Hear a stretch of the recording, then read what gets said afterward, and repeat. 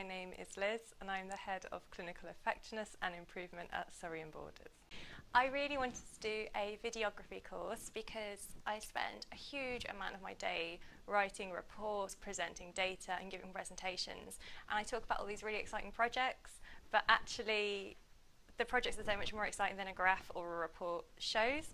So what I want to be able to do is to be able to actually show people what we're doing by showing interviews of people, showing photos, showing resources through film and helping make compilations of films so we can see what we've done over a year and reflect back on it as a team.